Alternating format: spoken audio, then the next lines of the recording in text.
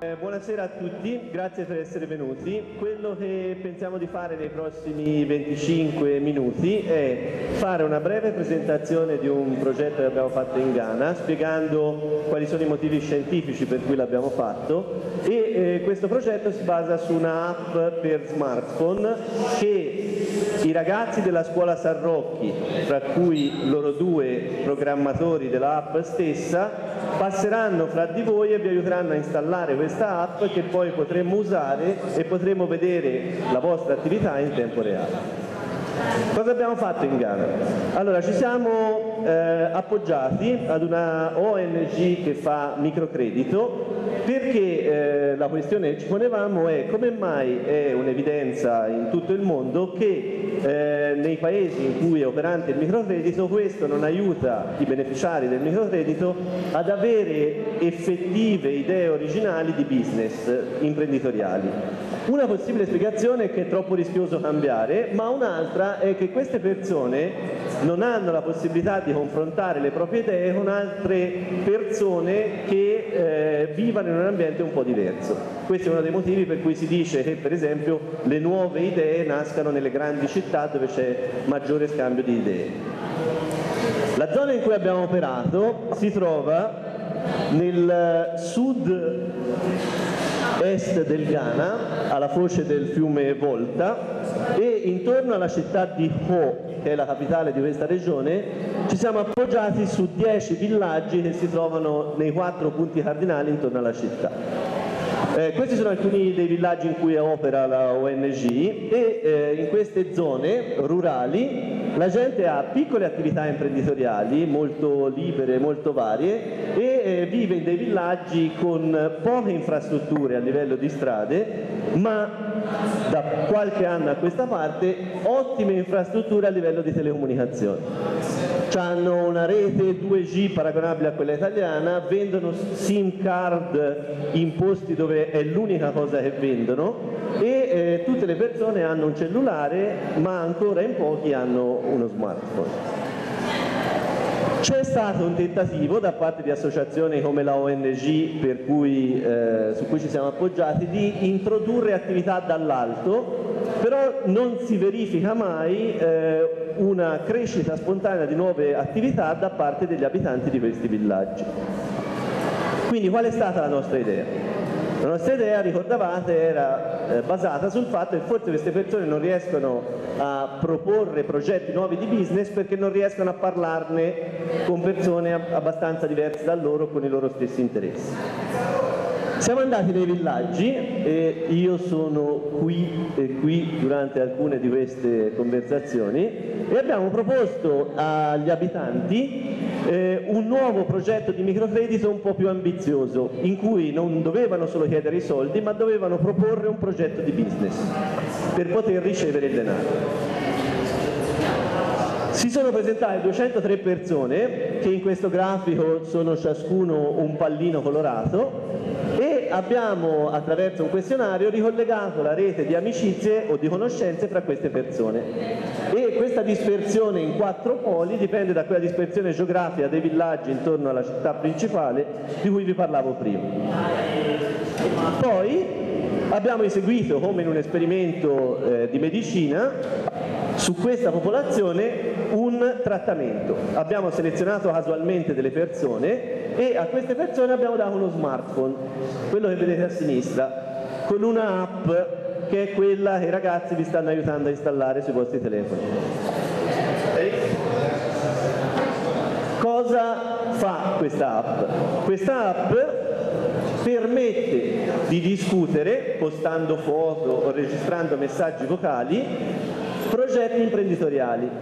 Qui vediamo alcuni esempi, pesca, allevamento, agricoltura, eh, un panificio e eh, la gente si aiutava rispondendo a domande semplici del tipo come si fa questa cosa, dove trovo questi materiali, dove posso vendere questi prodotti. Così si è creato una rete di relazione più fitta, che sono le linee nere in questo grafico, fra le persone che avevano lo smartphone.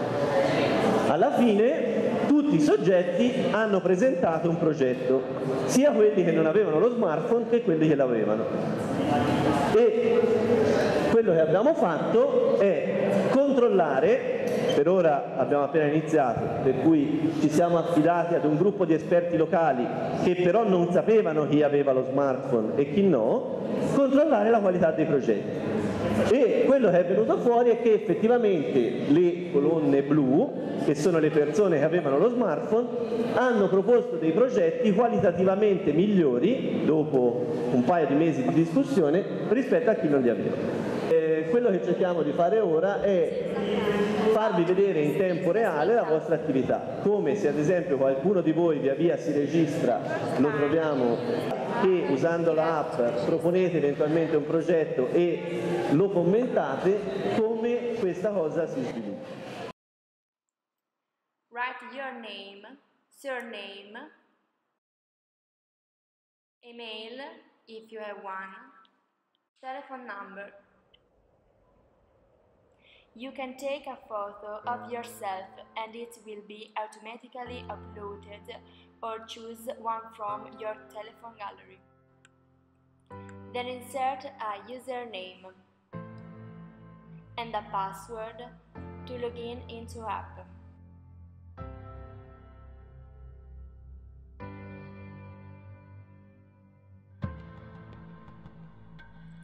Navigation bar here you have four fast links. Sector. Here you choose sector of your interest. Food. Clothes. Shop. Taxi.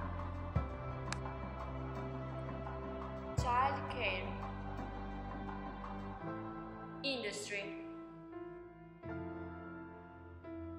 Tech oh, Other My project. Here you find your own project, projects in which you are partner and projects that you follow. Request of partnership your project received.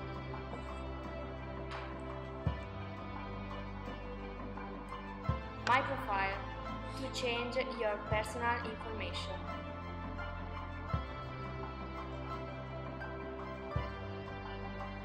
Sector page. Choose the sector of your interest.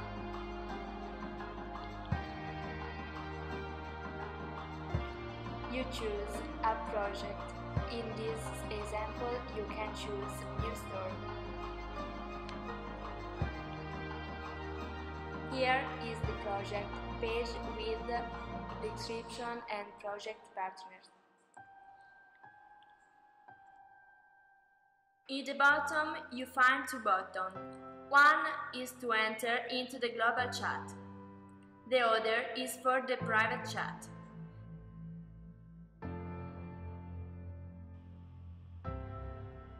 User can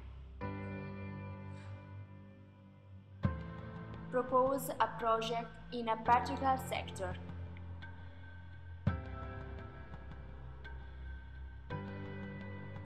Chat with owner and others about the project.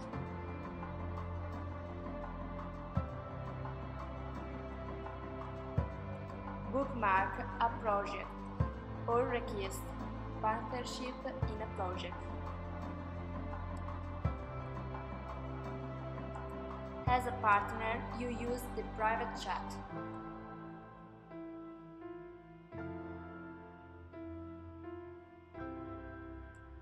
How to Insert a title and a description of the project.